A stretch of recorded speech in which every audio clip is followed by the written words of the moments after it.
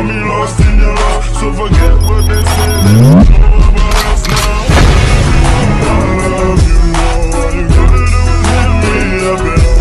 Hit me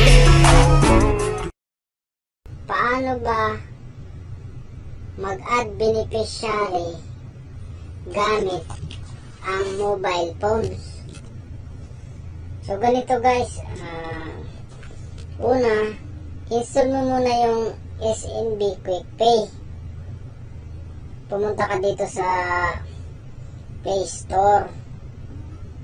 Dito sa Play Store. Pumunta ka dito sa Play Store. Yan, hanapin mo yung hanapin mo yung SNB Quick Pay. Oh, Quick Pay Apps. Ayan.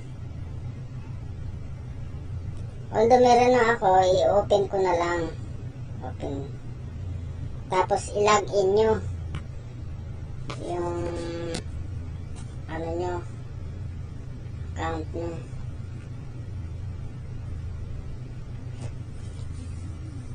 ito yung madalas ano natin dito sa Saudi iwas abala para hindi na natin kailangan pumunta ng bayan mga ganyan kunwari may kaibigan kayo gusto niyong bigyan ng pera o gusto niyong mag ano, pre, meron ka ba mo ng gano'n, 200 real, mga gano'n. Ito guys, magsisend sa inyo ng ano to, yung code. Hintayin nyo lang. Magsisend sa inyo ng code yan.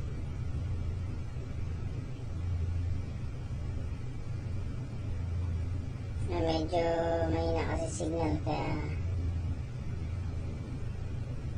ano siya? Tagal siya. Basta hintayin nyo lang. O yan kagaya niyan. I-allow lang natin yan para maka-sign in tayo.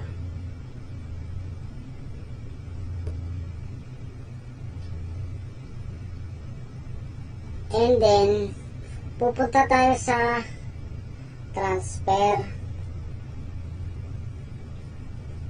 And then next beneficiary management.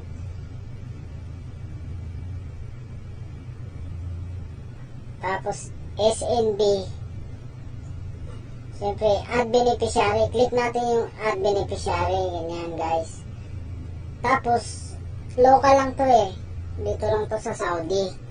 Ang input natin dito yung IBAN number yung nasa ano natin nasa ATM yung IBAN number. Yung 14 digit lang guys, 14 digit. Guys, magmula kayo sa huli ang bilang. Magsimula kayo doon sa last number. Papunta doon sa 14 digit. 14 digit lang kasi yung i-input mo doon sa ano account number. Tapos yung short name. Huwag kayong mag-alala kung para baka isipin nyo mali. Hindi po kasi once na in-input tama yung ano in-input yung IBAN number lilitaw dun yung pangalan nung ano nung papadala nyo kaya huwag kayong mag-alala na ano magkamali kayo so dito lang po yan sa ano dito around Saudi Arabia. Local beneficiary lang. Paano mag-transfer ng ano ng pera dito. Yan beneficiary.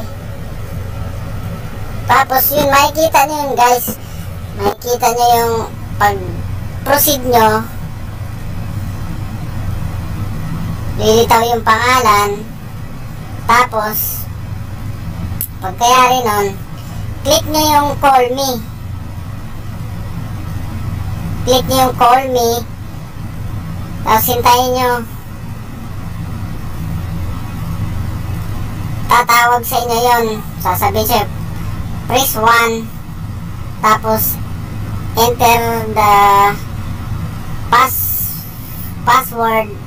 4 digit lang yung guys. Yun, hintayin nyo 4 digit para i-activate yung beneficiary.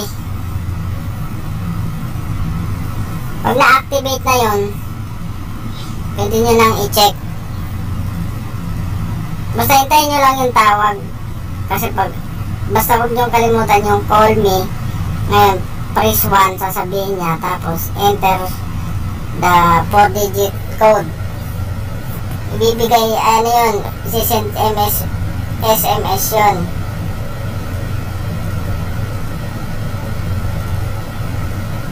So, yun lang guys. Madali lang.